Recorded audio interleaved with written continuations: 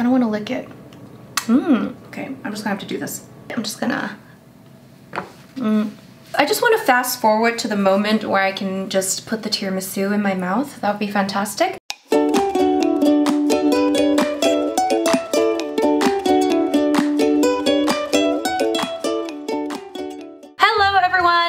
Rose and welcome back to Cheap Lazy Vegan and another cook with me video. As you can see by the title, we are making something very delicious. We're gonna be making some tiramisu. Yes, we are making tiramisu as a vegan, hallelujah, okay? So I actually love tiramisu, but the thing is, I've never made it, ever, because it always seems like such a difficult task. It never seemed something approachable. And I know that traditional tiramisu is like definitely not vegan. So basically I like never eat tiramisu.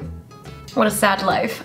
um, I did have it a couple of times when I lived in London and it was so good, but I think the place that sold the vegan tiramisu, I think they closed down and also I'm no longer in London, so that's great. So now we're gonna have to make our own tiramisu because there's no other option, okay? And I just like really wanna be a type of person that makes vegan tiramisu. Like I wanna be that person. And I found this recipe and I'm very excited to try it. It is by Sam from It Doesn't Taste Like Chicken. She has a great blog with lots of vegan recipes. And when I typed in into google.com vegan tiramisu, her recipe came up. It seems to be very popular and it seems relatively approachable. Like it doesn't seem as scary as one would think. So yeah, I'm gonna link her recipe down below. I'm just gonna be following her recipe. I'm nervous, I'm excited, I am hungry for some tiramisu. Okay, let's get started. Okay. Okay. I guess the first step is that you need to have lady fingers. Now, I am Asian and I don't really know what lady fingers are. I know they're like some sort of a pastry, but basically what Sam did is that she actually made some cake, like a vanilla cake. So we're gonna start with making that. So basically we're making vegan lady fingers. I'm gonna get an apron because, you know, don't wanna mess up this dress. Okay. All right, guys. Whew. Chef Rose in the house. I'm just, I just want to fast forward to the moment where I can just put the tiramisu in my mouth. That would be fantastic. All right, we're starting with flour. I've got this thing of, this all-purpose flour. I need measuring cups. One day I will not be a mess and I will be prepared for a video, but that day is not today, my friends. That day is not today. Okay, so I guess we're starting with two and a half cups of all-purpose flour. I'm so excited to have tiramisu, guys. We're gonna do one and a half cups of sugar. Woo! You know what, we need a little comfort food right now, okay? Two teaspoons of baking soda. There's a reason why I don't film these cook with me videos very often because I'm just a mess, okay? Me cooking and talking at the same time is just like, it's a disaster. Anyway, two teaspoons. Uh, one teaspoon of salt. By the way, I already have the oven preheating. Yes, I actually remembered. Usually I forget. So we're just gonna mix, mix, mix. So those are the dry ingredients. Pretty simple so far. Now what's next? We're gonna mix the wet ingredients together first. I'm gonna just put this aside. That's the dry. So wet ingredients, one third cup of non-dairy milk. I made this almond milk just now. By the way, if you need an almond cow, link is down below. You can make your own almond milk at home. It's awesome. Okay, so one and a third cup of non-dairy milk. I'm using almond, two third cup of light oil. So I have here some canola oil. Ooh. Ooh. Oh god damn. Quarter cup of lemon juice or apple cider vinegar. I got some apple cider vinegar here. One tablespoon of vanilla extract. Ah, guys. Tiramisu. You know, did I ever tell you I used to live in Italy? I probably mentioned it about 15 million times. But um, oh, those were the days. I gained like 12 pounds. It was great. I was not vegan at the time, but anyway. All right, so was I supposed to do that? Oh God. Yes, mix the wet ingredients together. And then we're gonna pour the wet ingredients into the dry and mix until the batter comes together. And she says not to over mix. Do I mix with the whisk? I don't know, I guess so. We're gonna mix with the whisk. Or maybe I shouldn't have. Ooh, don't mix with the whisk, my friends. Okay, I'm just gonna switch. So we're just gonna mix. Ooh, it's looking nice already. I hope I'm not over mixing. She says that we should use two like cake pans, but I just have this big thing, so I'm just gonna use this and hope for the best. We're just gonna grease it lightly. I need a spray, but I don't have one. So I'm just gonna use my hands. This might be too big, but whatever. It'll do the trick, right? Yeah, maybe I'll just flatten it out. Okay, there's the cake. Oh my god. The oven is preheating at 350 and I think it's already done preheating. So I'm gonna stick this in. I have to bake it for 22 to 28 minutes until the tops are golden and a toothpick comes out clean. Alright guys, so that is step number one. The next step, I think we should actually do the cream layer. First, let me just um, situate myself. Just, I'll be right back. All right guys, so we do need to soften the cashews, so we're gonna start with that. We're gonna do one cup of cashews. We need to soften the cashews. Now where is a little pot? Okay. I don't understand people that have very like clean kitchens, like where nothing is like a mess. I'm like, how do you live that life? I wish, wish I could. Okay, so we're doing one cup of cashews and we're just gonna soften on the stove. Just gonna eat one. Mmm. Cashews are so good. One cup of cashews, I'm gonna put some water. We're gonna bring this to a boil. What else do we need? So we need to whip up some, why can't I talk? We need to whip up some coconut milk. So I have coconut milk in the fridge. I'm hoping I bought the right one. There's like different types of coconut milk in a can. There's the ones that, you know, don't separate. And then there's the ones that do separate. And then you get like that full fat, like coconut cream and then you whip it and it becomes like a whipped cream. I think I bought the right one. Okay, let's just see here. So basically what happens when you have canned coconut milk that does separate is that when you put it in the fridge and chill it, it separates so that it becomes very, very thick and then you're able to whip it into a cream. Did I say that already? Yes. All right, the moment of truth. Did it separate? No. Did it not? no. Ah! Oh, you know what? I think it does separate, but I don't think I left it in the, um, whatchamacallits, in the fridge long enough. Oh my god, I love coconut milk. Mmm. Oh my god, that's so good. So now what do I do? It's not separated. Oh, this is very stressful. I'm just gonna, okay, YOLO. What do I do?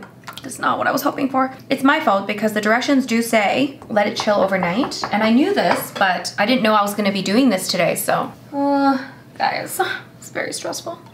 You know what, we're just gonna do it. It's not gonna be as thick. Okay, so we're gonna get now the mixer going. Oh God. I can't even do this. it's not looking promising to be honest with you. So I'm gonna try to mix this I wonder if I wonder if freezing it would have worked. Because I was thinking about freezing the can. Huh! Sorry, that's my rice cooker. Anyway, let me let me do this. Okay, the verdict is nothing is happening. Ah! So I got a ton of coconut milk splattered all over the place and I just could not whip it guys so so I think my solution is going to be what is my solution? I'm gonna have to make the rest of this layer less liquidy so that we get a more thick kind of situation. That's gonna have to be my solution. You know what?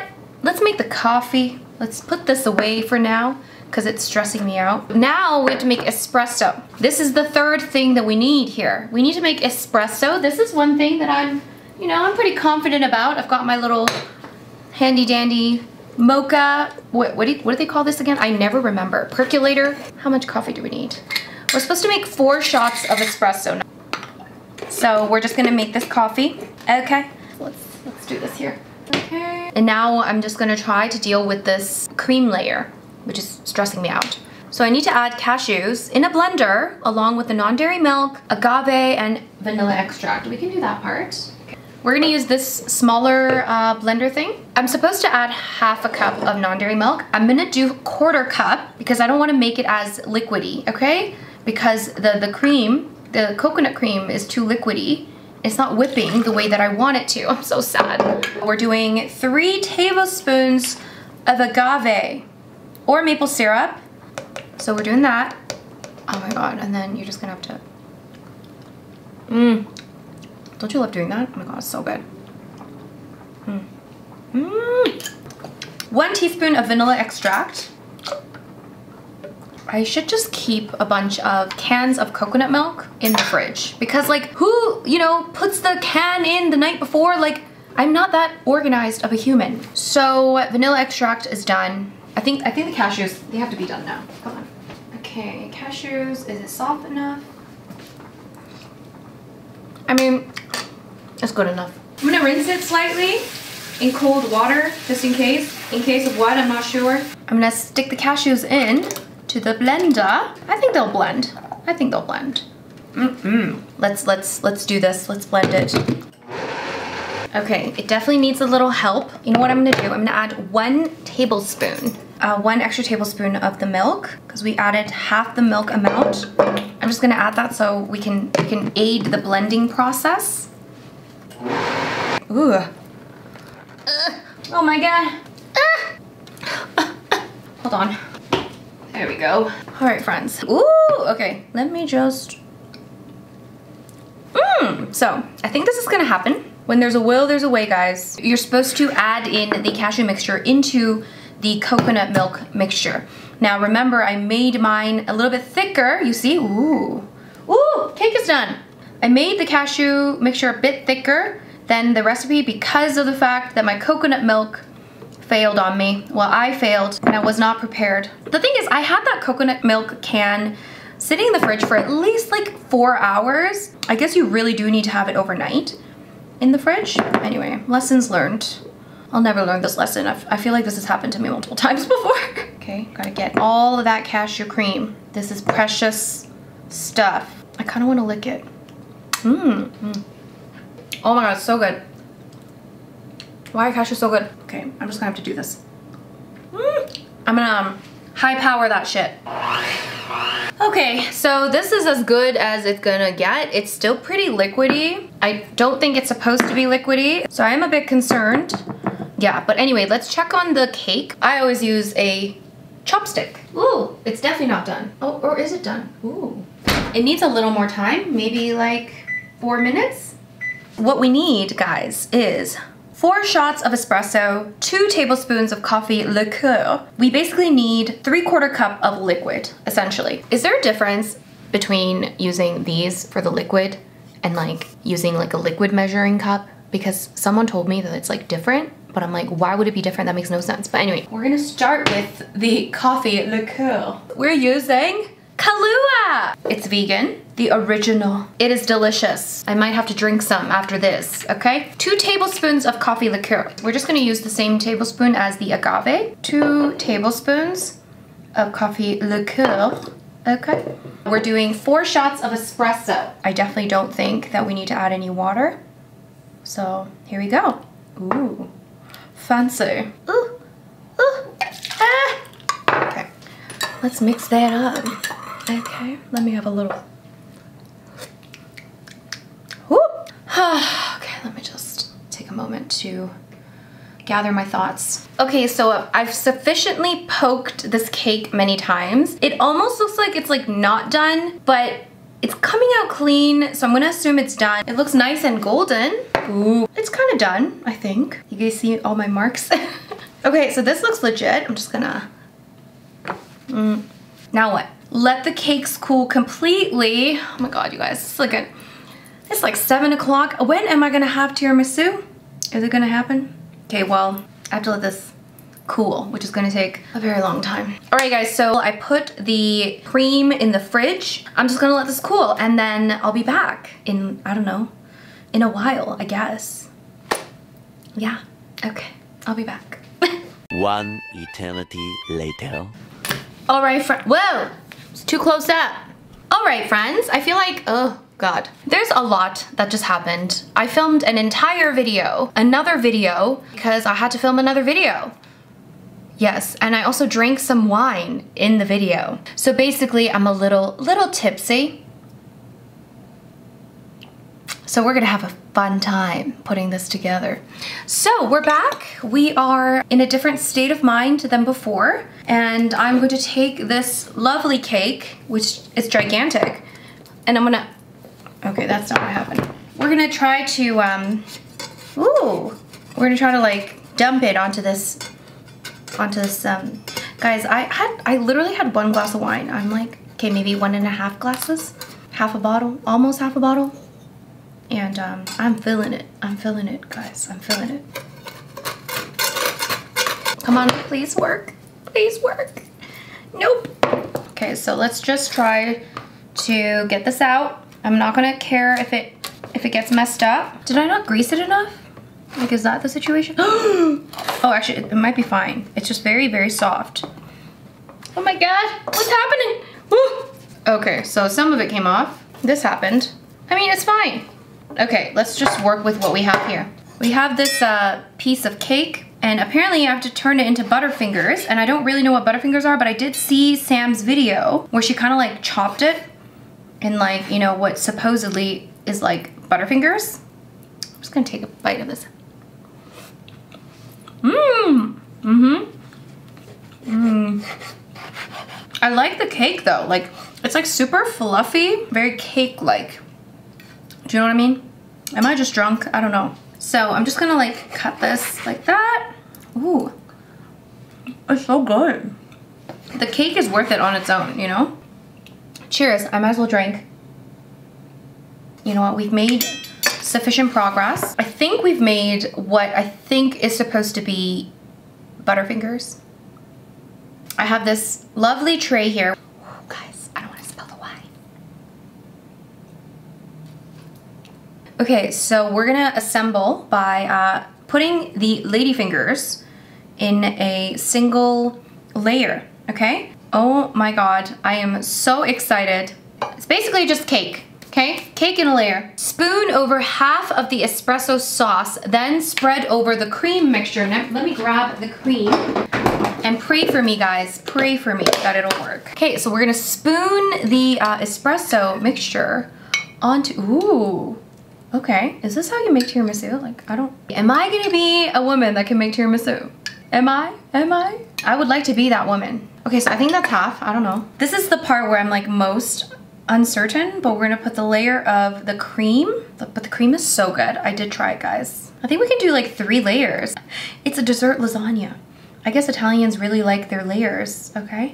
This is so decadent. This is perfect for this time of year, by the way, especially when we'd be staying at home, okay? Mm. Okay, let's do another layer of the lady fingers. Okay, so. Second layer of the, the coffee, the liqueur. And then we're doing more of this uh, lovely cream sauce. Now my drunkenness is really taking over. It's not gonna be the prettiest, maybe, but um, I feel like tiramisu is like never really that pretty. Or maybe I'm wrong, I don't know. Maybe I'm just making an excuse. I don't know how this works. Like, is it supposed to get really soggy? Like, is that is that the plan? I don't know. Final layer of cream. We're just gonna do the rest of the cream. Whoo! If this actually turns out to taste good, it wasn't like so difficult, you know? Just have a glass of wine, make it. It's a fun time. Oh my God. Mmm. We're gonna have to do a little something something. I don't like to waste any of that cream. Mmm. Mm-hmm. Mm-hmm. This alone it's delicious. Mm. So apparently I have to let this sit in the fridge for a minimum of three hours. That is difficult. Three hours. You know what? It's kind of cold outside. It's like zero degrees, maybe like minus one or two. So I might actually put it in my patio and my balcony. Is that is that okay? I don't know. Is that gonna freeze it? I'm just gonna do it. Okay, we're gonna cover this up and I think I'm gonna put it into uh, my, can't talk. I had too much wine. I'm gonna put it in my balcony and let it sit for two hours. She says fridge for three hours minimum. So I'm assuming balcony is two hours minimum because balcony is a bit colder than the fridge, I think. How cold is the fridge?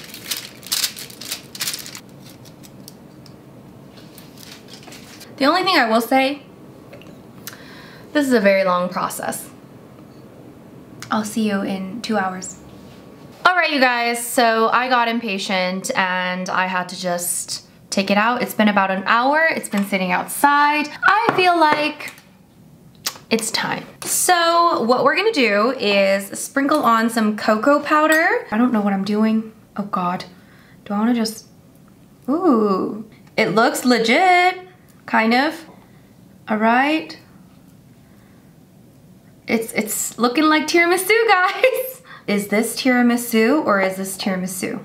Let's just get a little piece. oh my God. What is happening? Guys, friends. Oh my. It looks a lot more mushy than hers did, but let's give it a try. Mmm. Guys. Mm -hmm. I am in shock. I just made tiramisu. If I had the correct consistency of the cream and the Butterfingers, I think I could have cooked it a little bit longer. It's definitely more mushy, but also it's kind of nice, but it has that tiramisu taste. That's what matters. We're gonna have to do a little close up. Guys, I'm a woman that knows how to make tiramisu. Let me just... Mmm. I am floored. It's so good. This is so good. I am shocked. I am so happy right now. My friends, this is a piece of tiramisu. Who knew? Mmm, this is tiramisu. I made tiramisu. I made tiramisu, my friends. So that was my cook with me video. That was me making tiramisu tiramisu, tiramisu, tiramisu. I don't know if I say it right. Oh my God, I'm in shock. It is so good. I can't wait to share this with no one because I can't see anybody. Thank you so much to Sam from It's Not Like Chicken. No, what is what is her name? It doesn't taste like chicken. Yes. Thank you so much to Sam from It Doesn't Taste Like Chicken. Her recipe is awesome. Honestly, it tastes just like tiramisu. It is so good, highly recommend. I'm sure that uh, you could make it better because you've seen the mistakes I've made. If I can make this, then anyone can make this. And I think that you can serve this to anybody and they would love it. There you go, I am now a woman that knows how to make tiramisu. Again, the original recipe will be linked down below. Thank you so much you guys for watching this video. If you enjoyed it, please give me a big thumbs up. And if you're new to this channel, don't forget to subscribe and I'll see you guys in my next video. Now let me just finish the rest of my tiramisu.